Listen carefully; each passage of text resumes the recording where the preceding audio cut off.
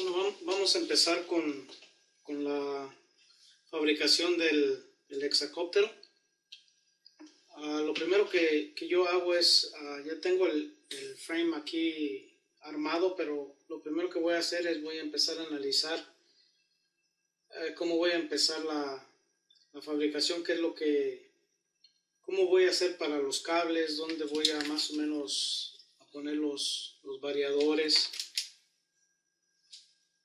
eh, cómo voy a montar las luces. Ahorita voy a empezar a desarmar los brazos, pero primero así armado puedo más o menos medir uh, cuántas luces voy a poner, en dónde quedan las, las partes que me puedan, este, por ejemplo, afectar o más o menos para guiarme, como este, estos dos brazos se, se mueven hacia acá, entonces tendré que dejar un poquito más largo los cables de las luces para poder este, que se puedan estirar a la hora que decida doblar los brazos. Entonces también este, creo que sí voy a utilizar la, esta placa para la electrónica, entonces estoy viendo si, si la voy a poner por aquí en medio.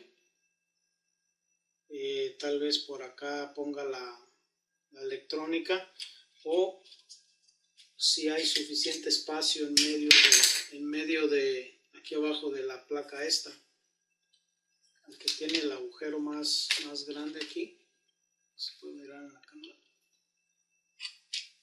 que tiene el agujero más grande aquí pero tal vez adentro de esta pueda meter la placa para las ¿cómo se llama? para conectar los CSIs lo que sí voy a hacer es de que Ustedes saben que hay que soldarle aquí a los CSIs la otra conexión para poder conectar el motor, pero lo que voy a hacer es, son bastantes conexiones, lo que voy a hacer es que lo voy a soldar directamente aquí, directamente aquí y voy a tener que cortar estas, desoldarlas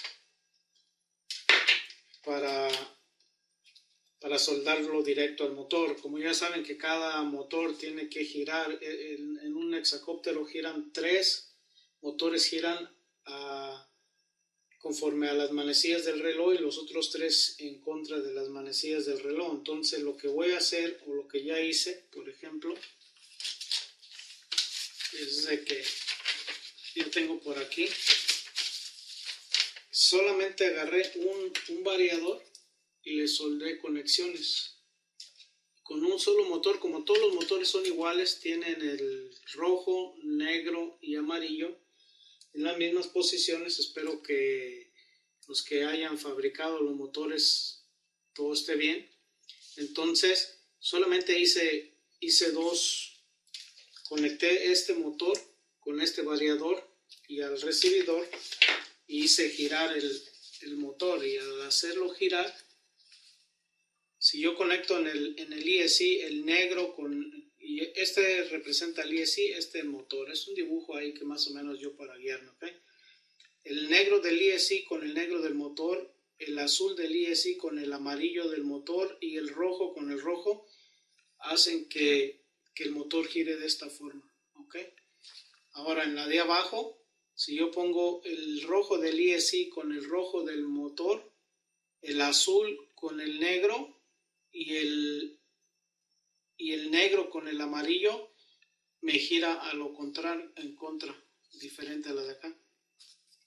Entonces de esa forma ya sé que necesito tres que giren como este y tres que giren como este. Entonces los voy a soldar exactamente como los tengo aquí. Y de esa forma me voy a evitar este, las, los uh, bullet connectors, ¿ok? Por el otro lado, los motores incluyen esta, esta base para montarlo. Entonces, van a ir así.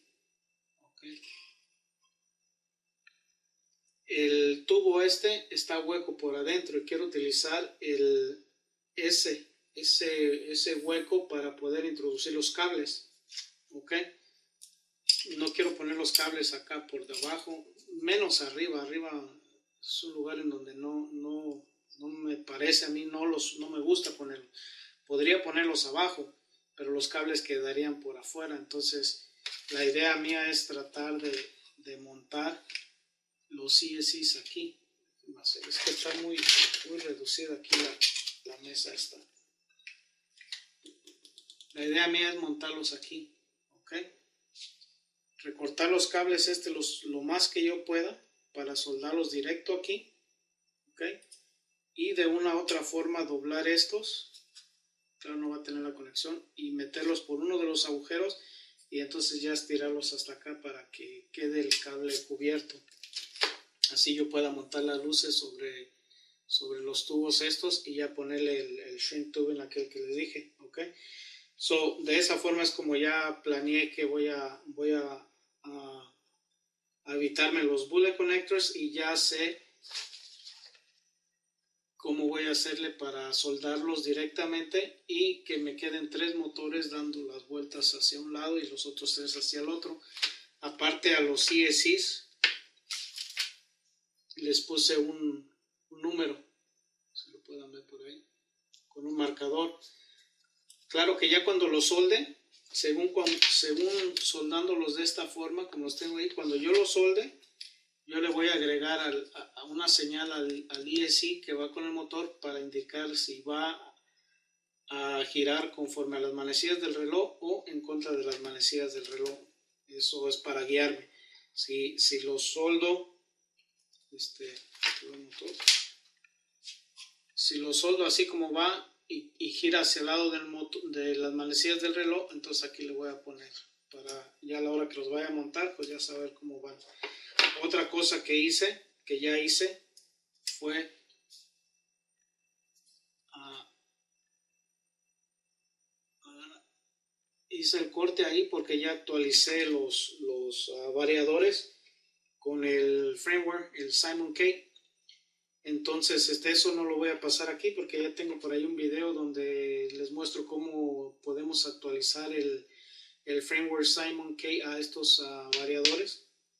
Entonces ya tengo el video por ahí, entonces aquí no, no tiene caso.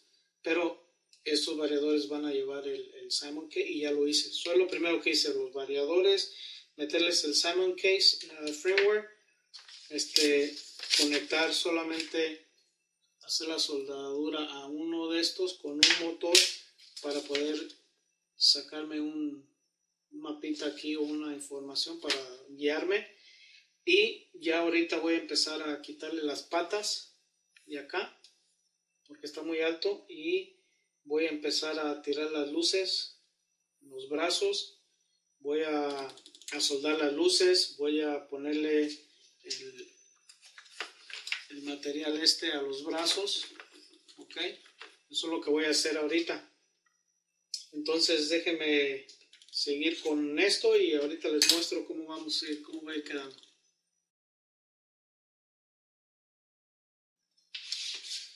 Ok, déjenme compartir con ustedes los avances que llevo hasta este momento.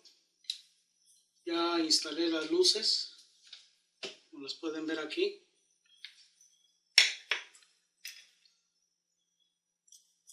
Las soldé por acá y acá viene el cable que va a salir para conectarse con los demás también soldamos los, motores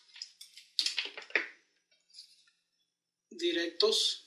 Tal vez le voy a cambiar el plástico este. Le voy a poner plástico nuevo para cubrir todo bien. Y como les dije al principio soldé los motores pero ya ahorita ya sé que necesito tres motores que van a dar a girar conforme las manecillas del reloj y los otros tres.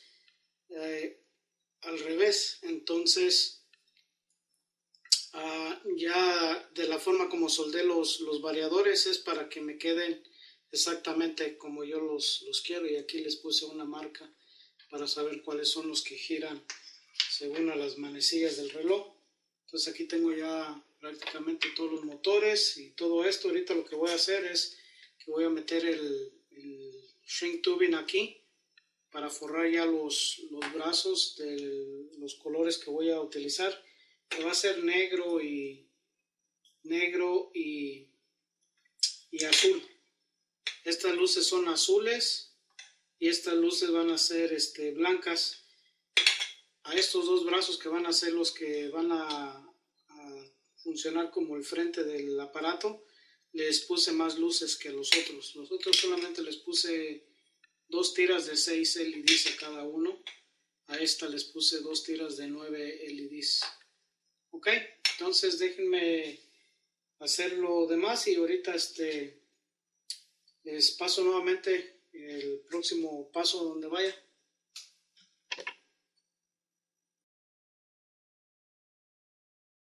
Ok, pues hasta aquí, hasta aquí vamos con el proyecto. Como pueden observar ya tengo todos los motores montados, todos los brazos parece que ya están listos. Eh, vamos a hacer este, un, recuento de todos los, pasos que llevo hasta este momento.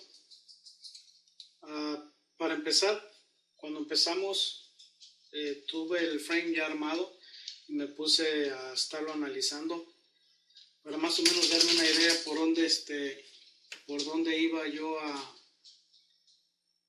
a pasar los cables y tener una idea bien. Después desarmé el frame. Segundo lugar, me agarré un recibidor, el control y agarré uno de los motores con uno de los variadores. Le soldé los los bullet connectors a ese y utilicé ese motor y ese variador para, para ver hacia qué lado rotaban los motores, porque necesito que tres motores giren conforme a las manecillas del reloj y los otros tres giren al revés. Entonces, como no iba a utilizar, como no iba a utilizar este bullet connectors con, con los motores en esta oportunidad, los, los iba a soldar directos al, variador. Entonces, porque iba a, a, jalar muchos, iba a soldar los cables y a meterlos por acá. Entonces, por eso utilicé un solo motor con un variador. Y como todos los motores tienen el mismo, el mismo color de los cables y los variadores era lo mismo, entonces me hice un, pequeño apunte, un mapita aquí para darme la, idea, como se los habíamos mostrado antes. Conectando el, el ESC, el cable rojo, con el rojo del motor, el azul con el amarillo del motor, el negro con el negro del motor, el motor me giraba así, a la inversa de las manecillas del reloj.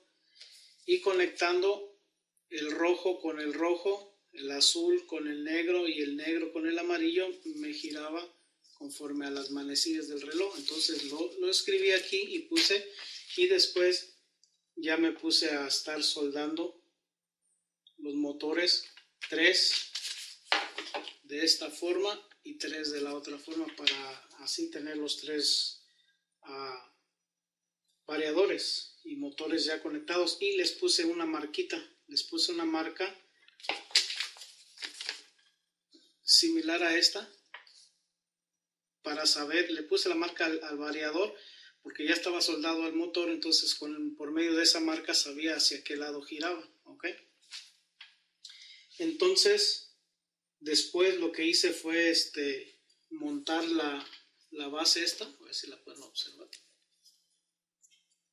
la base del motor la monté al, motor, porque este motor tiene una base aparte de la que está aquí de, fibra de carbono, tiene su, su basecita que ya venía con el motor. Entonces lo atornillé y le puse pegamento para rosca, para evitar que se me fuera a soltar. ¿Ok? Eso fue lo que hice. Después, como pudieron ir observando ahí en el, en el video, este, soldé las luces y, y jale los cables. No sé si se pueden observar por aquí. Aquí están los cables soldados de las luces y por acá salió el cable que es el que va a encender las luces. ¿Ok?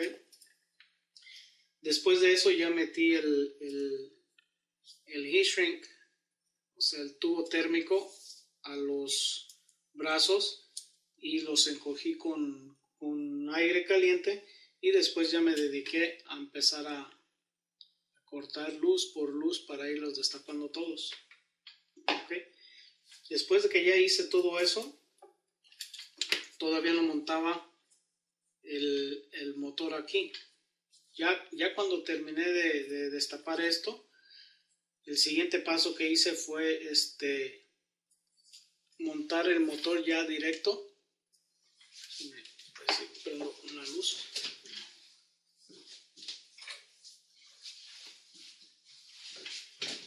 Sí, ya, ya después lo que hice fue montar el motor a esta parte de, fibra de carbono ya con todo y estas partes ok y, ya una vez que estuvo montado ahí más o menos lo, lo arrimé aquí y medí más o menos qué tanto cable iba a utilizar y soldé el cable ya el, del variador, el que se usa para conectar la corriente y le pegué una extensión al cable que, del DSC, el que es el del BC. Le pegué una extensión también porque este va a ir un poco más arriba. Entonces vale más que me sobre. Entonces ya una vez que estuvo todo eso, el siguiente paso que hice fue empezar a...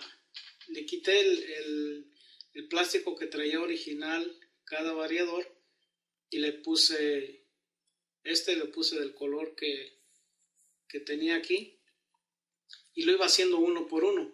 Recuerdan que les dije que le había puesto una marca al, al variador para saber hacia dónde giraba. Entonces lo que hice fue, este, por medio de la hoja esta, si se puede observar, como esta es la tarjeta que vamos a utilizar, y aquí está el, el dibujo del, del aparato. Entonces aquí vienen los motores enumerados, ¿ok? Entonces, y también en, en, el circulito este te indica hacia qué lado tiene que girar eh, dicho número de motor.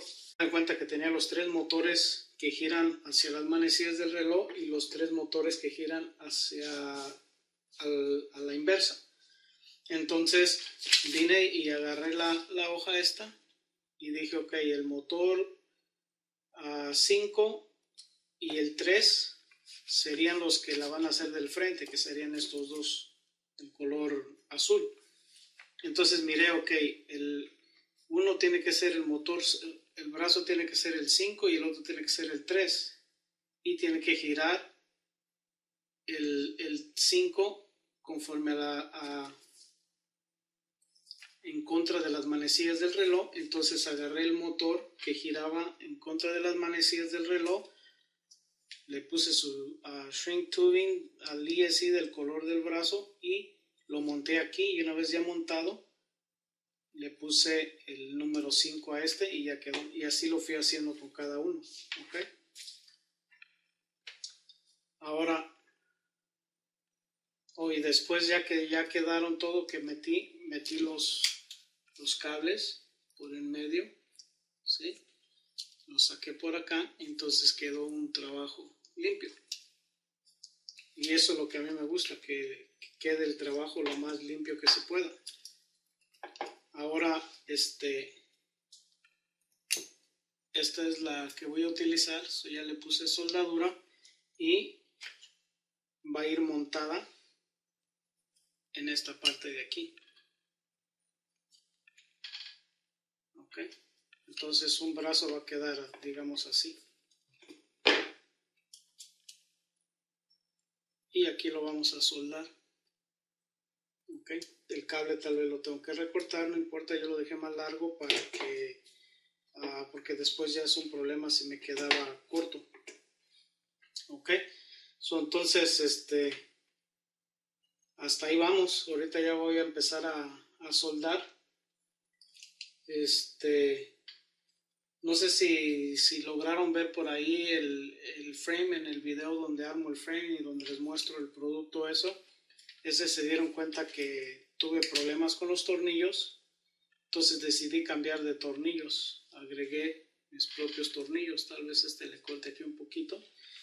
Y por lo tanto este, tuve que hacer un poquito más grande los agujeros acá para meter este, los tornillos que voy a utilizar. ¿Ok? entonces, este, hasta ahí vamos. Vamos a ahorita a tratar de, de ponerlo acá y empezar a soldar los cables del ISI para poder este, darle corriente y antes de cerrarlo completamente nos vamos a asegurar nuevamente que los motores estén girando uh, conforme a lo acordado por si acaso cometimos algún error pues este todavía tenemos chance aquí de qué sé yo romperle un poquito aquí y volverle a soldar o a ver qué hacemos ok eso es lo que, el plan que tenemos hasta ahorita. Así que déjenme apagar la cámara y déjenme continuar con el siguiente paso y ahorita les empiezo a mostrar cómo vamos.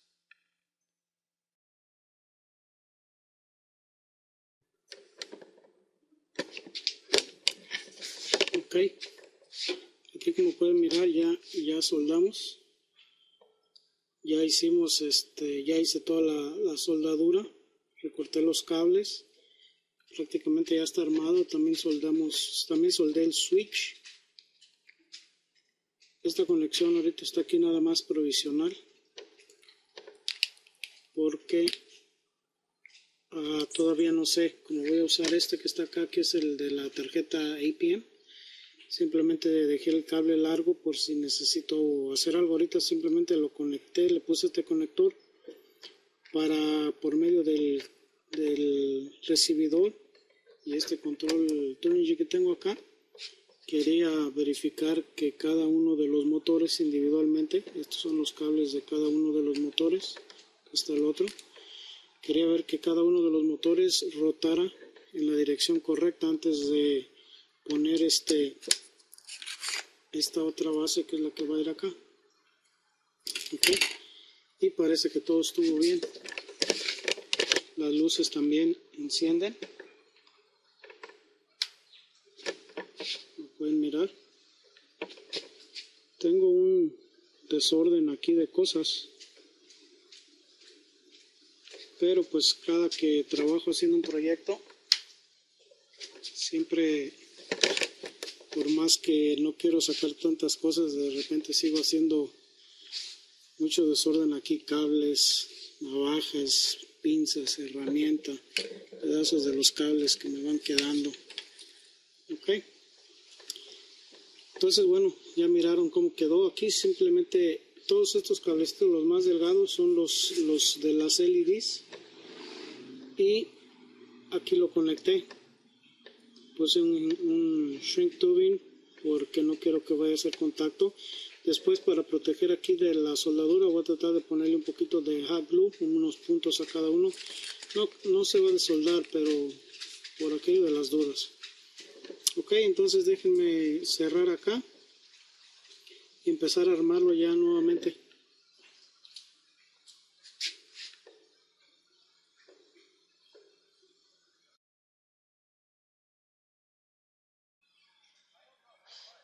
ok.